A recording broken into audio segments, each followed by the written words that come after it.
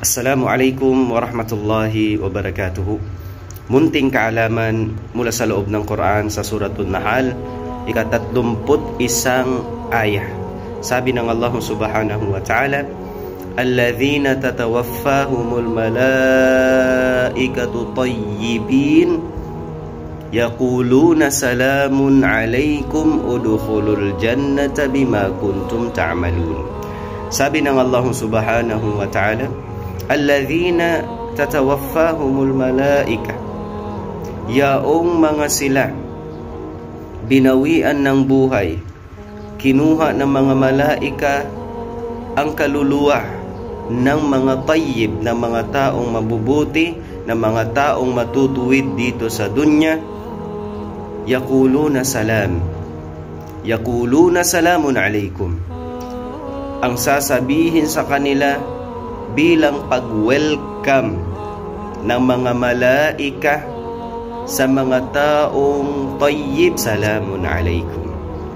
Suma sa inyo ang kapayapaan. Sa paraiso na po ito sasabihin sa kanila.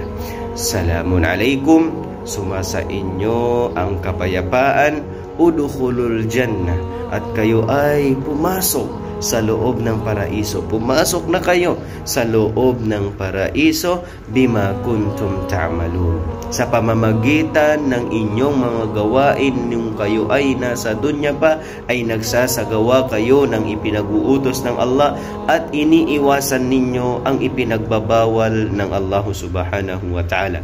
So kapatid, sa pananampalatayang Islam, kung gusto mo i-welcome ka ng mga malaika na ikaw ay papasukin sa loob ng paraiso ng Allah subhanahu wa ta'ala, ay dapat maging mabuti kang tao sa pamamagitan ng pagsunod ng ipinag-uutos ng Allah at pag-iwas ng ipinagbabawal ng Allah subhanahu wa ta'ala. Kapatid, tayo ay temporary lamang dito sa dunya.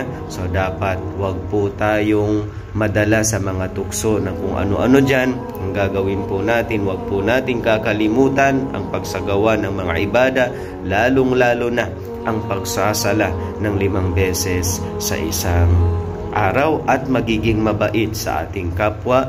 Wa ba'da salamu alaikum wa rahmatullahi wa barakatuh